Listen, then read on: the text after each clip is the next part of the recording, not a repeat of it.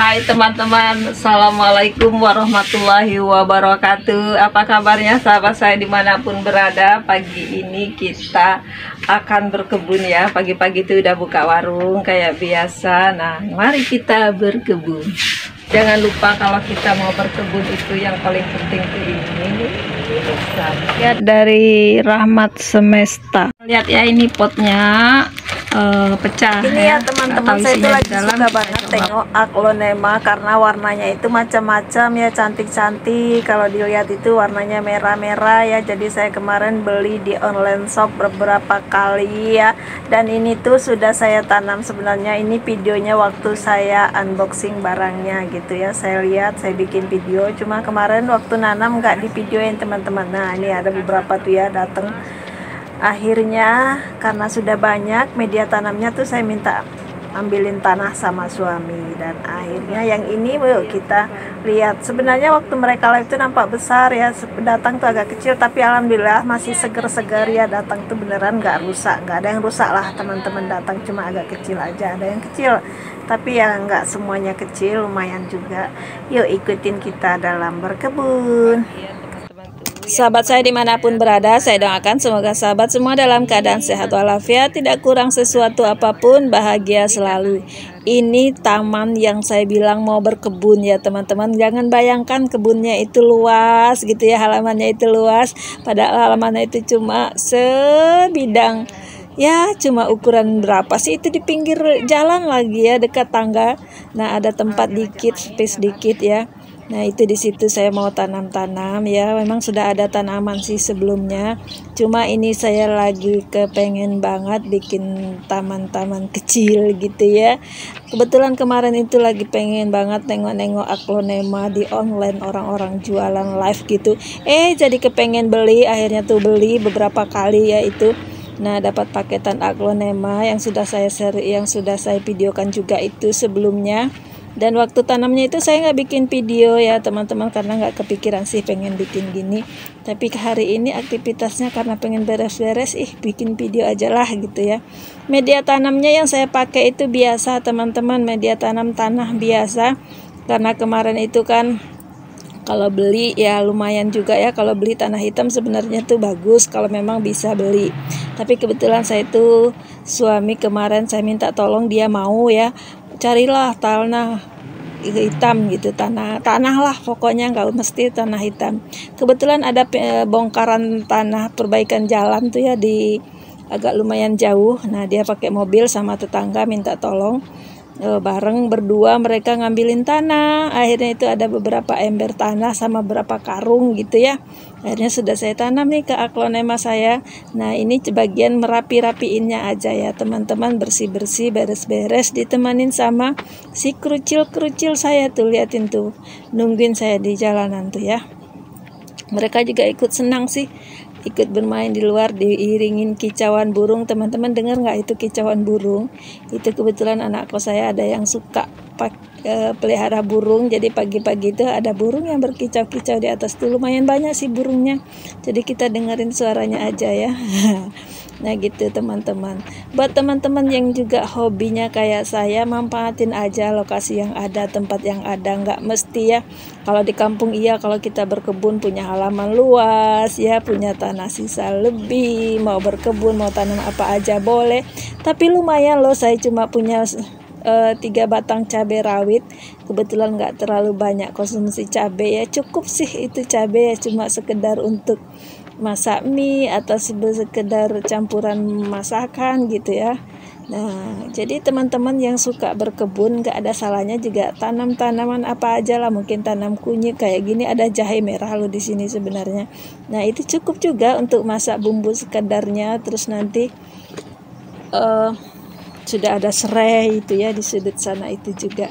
Jadi teman-teman untuk tanam-tanam konsumsi sendiri kunyit dan lain-lain sebagainya itu bagus teman-teman.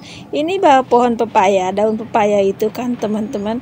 Tetangga kadang-kadang ada juga yang minta buat obat katanya kan. Lumayan ya kan walaupun tanamnya di dalam pot cuma beberapa pohon gitu ya.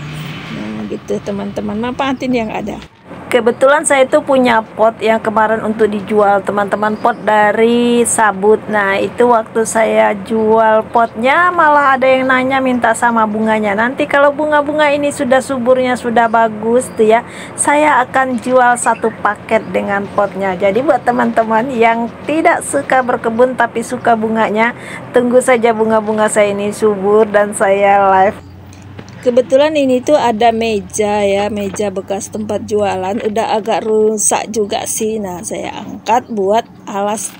Saya coba untuk alas bunganya. Tak tahu tahan berapa lama itu nanti di situ.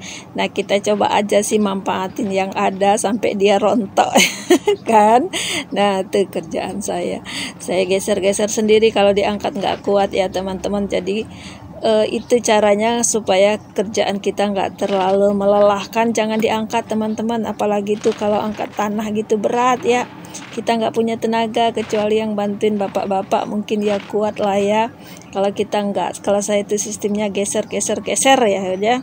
Yang penting tidak mengeluarkan tenaga yang ekstra itu aja. Punggung saya udah sakit loh jangan lupa juga kalau kita sedang kerjaan begini itu teman-teman di dalam hati tetap sholawatan ya. Baca subhanallah walhamdulillah wala ilaha illallah allahu akbar atau sekedar Allah Allah Allah atau apa aja lah yang kita ingat. Subhanallah subhanallah astagfirullahalazim astagfirullahalazim gitu ya. Daripada mikirin yang aneh-aneh nah sambil geser-geser sambil angkat-angkat tetap zikir ya teman-teman tetap zikir siapa tahu.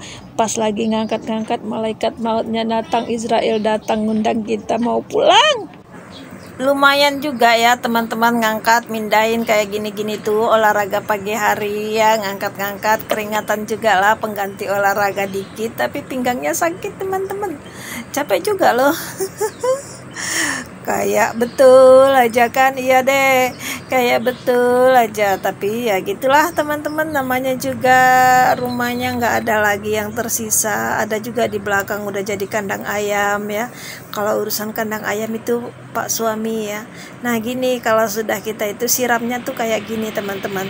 Bagusnya sih pakai semprotan tangan gitu ya sebagai kena. Cuma saya belum punya ada tapi belum saya itu. Jadi saya tetap siram-siramnya manual aja karena bunganya juga nggak banyak ya. Itu siram-siram manualnya cuma untuk yang aklonemanya ya teman-teman. Kalau yang lain itu biasanya saya langsung siram ke pohonnya aja. Ini juga lagi daripada ini ya teman-teman. Sebenarnya saya suka banget berkebun bertani itu. Sampai dulu ibu saya bilang saya itu pernah bawa anggrek pohon gitu ya anggrek dari hutan gitu waktu cari kayu waktu masih kecil-kecil gitu ya saya bawa. Kata ibu saya kamu ngada-ngada aja tuh bawa anggrek katanya. Nggak bakalan hidup. Terus saya bilang hidup mak. Coba kita tanam. Kalau tanya kalau nanti hidup itu anggrek katanya. Anggrek pohon gitu teman-teman. Jadi kalau itu hidup nanti katanya ku panggil kau si hidup kata ibuku teman-teman. Eh beneran hidup loh itu digantungin di saya eh, apa tanam di pohon ini di pohon petai waktu itu terus yang satunya saya tanam di tanah. Tetap hidup anggreknya sampai itu kemarin subur banget sampai banyak akhirnya ibu saya bilang iya betulan hidup. Jadi saya itu tangannya si hidup ya. Apa aja yang saya tanam insya Allah kalau tanamnya masih di bumi hidup. Tapi kalau tanamnya bunga duit nggak ada jadi buat saya itu mau medianya apa aja selama itu medianya masih berbentuk tanah dan yang pantas untuk bisa hidup tanaman, saya tanam itu pasti hidup teman-teman. Itu aja ada anak duren, ada anak nangka, biji nangka saya tabur-tabur gitu aja pun hidup ya. Cuma belum dipindahin nah gitulah. Ini tuh rumah tetangga sebelahnya kosong. Jadi saya sapu-sapu, saya latihan dulu sambil selawatin siapa tahu nanti dijual itu bisa dibeli ya teman-teman boleh lah ya saya baca salawat Allahumma salli ala Sayyidina Muhammad Allahumma salli ala Sayyidina Muhammad ya kan? Ya kalau rezekinya nanti mungkin dia jual gitu ya suatu hari entah saya yang beli atau anak saya yang beli lah ya kan belum tinggal nambah sebelahnya gitu ya kita numpang parkir di sebelahnya. Nah balik lagi ke sini teman-teman udah mau selesai nih ya berkebunnya tuh lihat tuh di bawah tangga tuh ya. Nah itu banyak kan Nah itu banyak. Saya tuh udah pesen kemarin tuh kalau nggak salah beli di online shop itu sampai lima kali beli ya. Yang harganya itu nggak mahal-mahal amat sih. 100 dapat 8, 100 dapat 6, 100 dapat 10 Nah ini tuh tanaman-tanaman yang ditabur-tabur gitu aja tuh ya. Tuh cabai ditabur gitu aja hidup. Itu ada kapolaga kemarin tuh dibeli juga Nah itu ada rimbang, ada bunga ya lumayan lah untuk nebar uh, menyenang-nyenangin mata saya dikit gitu ya.